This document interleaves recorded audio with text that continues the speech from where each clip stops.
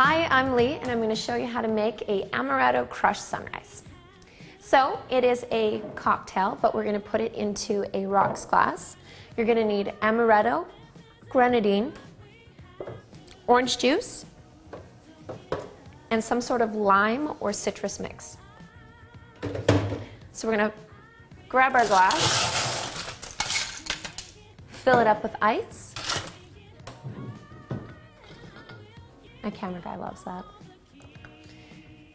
We're to do one ounce of the amaretto.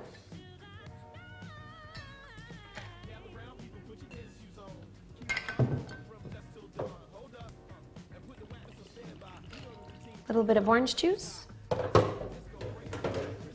Half an ounce of citrus. I'm to top that up a little more with the orange juice. And a smidge, I don't know if that's the proper way of saying it, but a smidge of grenadine. Straw and an orange wedge.